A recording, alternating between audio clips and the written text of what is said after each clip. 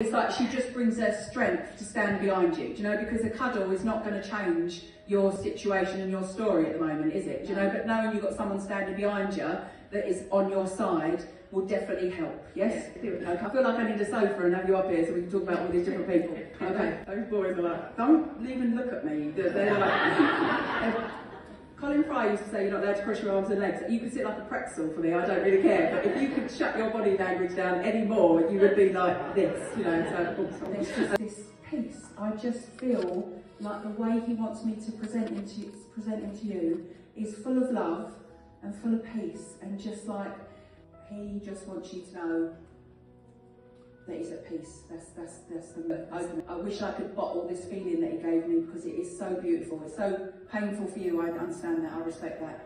But the beauty he shows me is wow. Okay. Is that all right, my darling? Yeah. Okay. That's enough. Thank you very much.